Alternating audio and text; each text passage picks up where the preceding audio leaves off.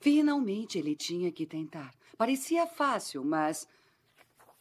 Ah, o que aconteceu? Primeiro. Mãe, o ele... que é férias, hein? Férias? Onde o papai foi? Férias é quando você vai a um lugar e nunca mais volta.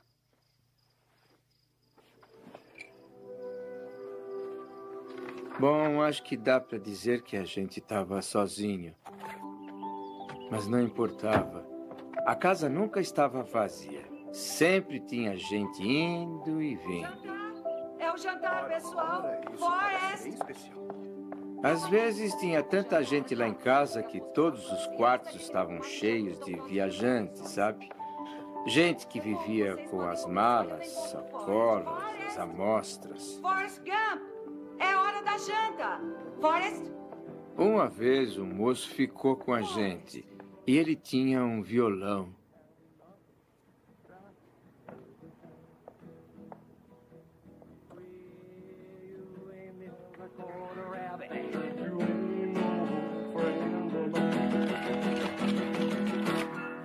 Forrest, eu já disse para não incomodar esse moço. Ah, não, tudo bem, senhora. Eu só estava mostrando a ele umas coisinhas no violão. Tá bem. Mas o jantar está pronto, e se quiserem comer? É, parece ótimo. Obrigado, senhora. Me mostra aquele passo maluco que você acabou de fazer. Mas vai mais devagar. Eu gostava daquele violão. Era legal. Comecei a andar com a música, mexendo os quadris. E uma noite eu e minha mãe saímos e passamos pela loja de eletrodomésticos do Benson e adivinhe só.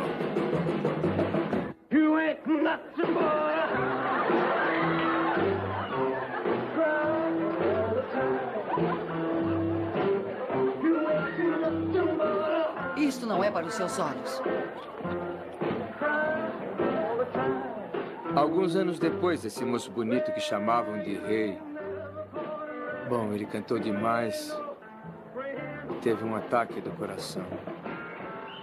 Deve ser bem duro ser rei.